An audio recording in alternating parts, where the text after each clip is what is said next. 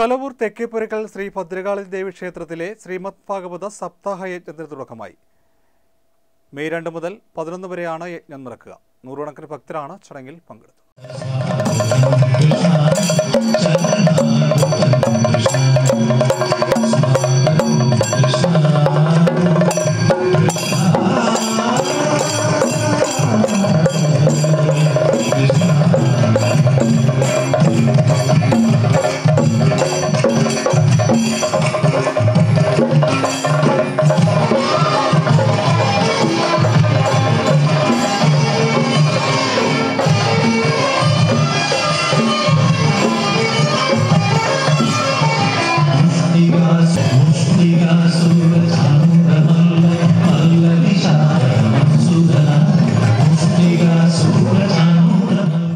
കലവൂർ തെക്കേപ്പുരക്കൽ ശ്രീ ഭദ്രകാളി ക്ഷേത്രത്തിലെ പന്ത്രണ്ടാമത് ശ്രീമദ് ഭാഗവത സപ്താഹ യജ്ഞത്തിന് തുടക്കമായി. മെയ് രണ്ട് മുതൽ ഒൻപത് വരെയാണ് ക്ഷേത്രത്തിൽ യജ്ഞം നടക്കുക. മെയ് പത്തിന് രോഹിണി ഉത്സവവും മെയ് പതിനൊന്നിന് മകൈര മഹോത്സവവും നടക്കും.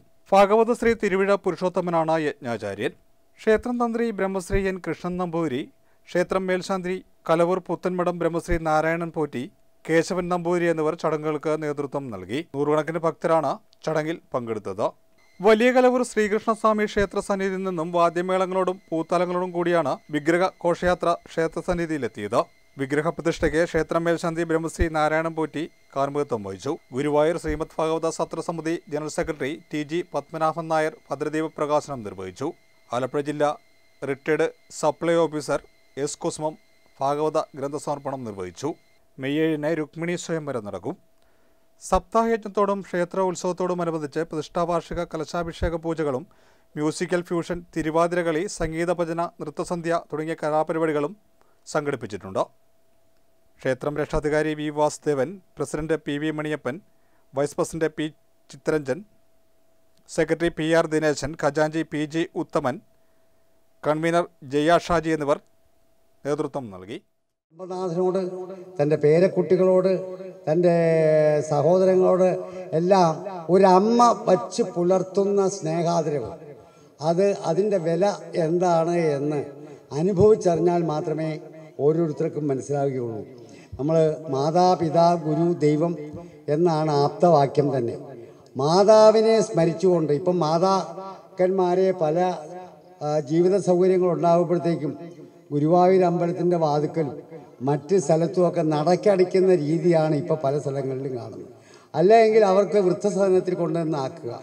ഇതൊക്കെയാണ് നമ്മുടെ നാട്ടിൽ ഇപ്പോൾ ഈ സൗകര്യം ഉണ്ടാകുമ്പോഴത്തേക്കും പല ആൾക്കാരും ചെയ്യുന്നത്. നാട്ടുമ്പുറങ്ങളിലൊന്നും അതില്ല എന്നുള്ളത് വളരെ സന്തോഷകരമായിട്ടുള്ള കാര്യമാണ്.